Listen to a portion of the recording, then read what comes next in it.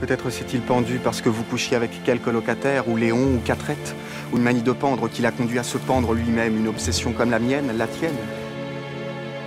Ma, ma tante, il y a deux messieurs pour la visite J'ai une chambre à deux personnes ou deux chambres avec pension complète parce qu'un locataire vient juste de libérer. Moi, euh, vous aviserez, je, je ne suis plus qu'une pièce rapportée à, à la disposition de ma propre euh, moitié. Et si moi, Vitold, veut te zigouiller, Léna, c'est que tu...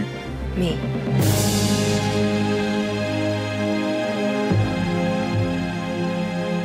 Moi, tu vas rire, mais c'est plutôt Catrette qui m'illumine. Et d'où on dira le faux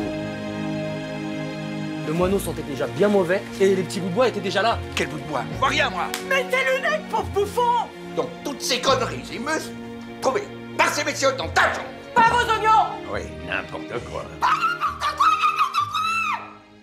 Il faudrait porter plainte à la police. Le soleil brille au zénith, impossible à fixer. Le cœur bat, loin de lui-même, impossible à écouter. C'est l'urticaire. La haine. Même va fait divorcer, il avait peur de son ex-belle-mère. On ne fume pas à table. C'est comme si nous n'étions pas assez présents, moi et elle. Elle et moi. C'est comme si on nous avait projetés d'ailleurs. De la lune.